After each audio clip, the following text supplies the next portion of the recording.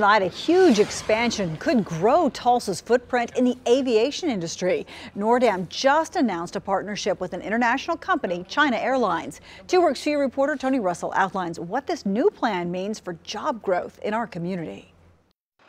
Another Oklahoma company is getting global attention. Nordam, which is based here in Tulsa, just signed an exclusive maintenance partnership with China Airlines. Having the ability to partner in a joint venture with an airline, which is the end customer, that's a major deal. Nordam does a lot of repairs on jet engine parts like cowlings, thrust reversers, and flight controls here in Tulsa.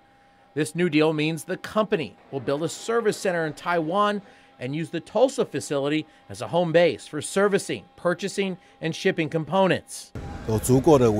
I believe that both companies joined together, we will make it a very great success in uh, Asia Pacific region. These partnerships are why officials say aviation and aerospace is Oklahoma's second largest industry behind oil and gas. The state of Oklahoma says the aviation industry is responsible for $43.7 billion in economic activity and just off-site employs about 59,000 employees.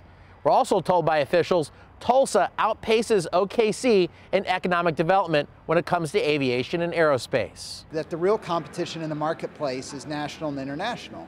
And Nordam has been a leader in that for decades. Nordam hopes to have its China Airlines facility opened in the next year, the next step in the Siegfried family's vision of growth for their company. We're getting ready to celebrate our, our, our 50th year here very soon uh, of being in Tulsa and being a company called Nordam, and we see ourselves another 50 years in Tulsa. In Tulsa, Tony Russell, Two Works for You.